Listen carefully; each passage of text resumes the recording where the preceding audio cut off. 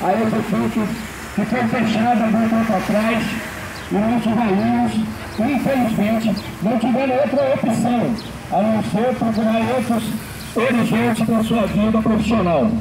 Infelizmente, a nossa escola, Exequique, que é uma, que é uma das escolas mais conhecidas em toda, todas o Vale do Paraíba, quando muitas pessoas, como até mesmo Engenho do Pio, todo mundo sabe disso, nosso querido Carioca, pessoas que fizeram parte da nossa história, né?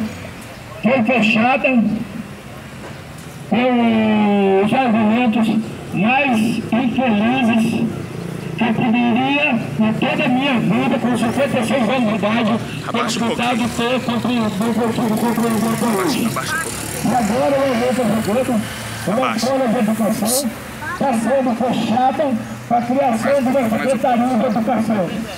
Pais, meus senhores, pessoas, moradores, amigos, pessoas que estão caminhando aqui pela nossa cidade, pasmem! A nossa escola, doutor Ramos Governo, foi fechada para a criação de uma secretaria. Foi votada na Câmara Municipal, Cecilina, mais seis cargos comissionados. Os valores dos executantes para se formar uma secretaria e essa secretaria vai ser exatamente uma escola. Então a gente tem mais de 150 alunos para aquela uma escola para criar cargos, três ou cargos,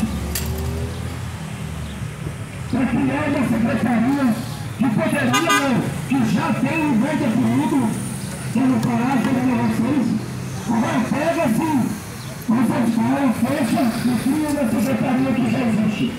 É só na cidade de Cruzeiro que acontece isso. Resolvemos agora as nossas indignações. Estamos aqui para dizer